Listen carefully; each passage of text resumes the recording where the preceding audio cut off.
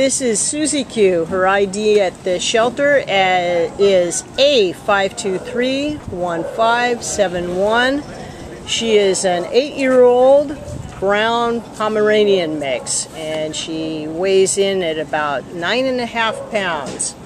Uh, she came in as a stray on October 26th. And uh, what do you want to say about her, Jana? This little girl's got a lot of spunk, so she might be eight, but she has plenty of get up and go. Got her out of her kennel, she's strut right out. She's loving being held right now because she's feeling pretty overwhelmed being here. Um, I think her hearing has started to go a little bit, and so that kind of puts her on edge. Um, but once you get her out and make her feel secure, she's very sweet. She was giving me kisses.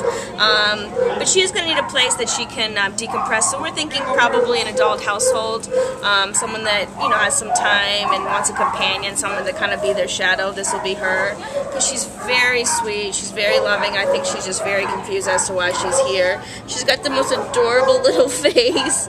Um, she's really going to be somebody somebody's, you know, shadow, best friend. So if you, you know, have some time to let her decompress, it's going to be so worth it. She's just so adorable. And um, I'll let you show, I'll show you her little cute little body. Here she is. Oh, there she is. So you can see she's very spry. Don't let her Yeah, she's she's, she's like a she's a perky little girl. Hi. Hello. Hello. She's a little perky girl. She's probably going to be good for little walks around the neighborhood. Um, and uh, you know, and then coming home and and Netflix and chill at yeah. night, and uh, just following you around the house. So if you want a loyal little companion, this might be your girl. I got some kisses. Because once she's in a safe spot, she's gonna be lovely. She's gonna, she's gonna just suck it all up.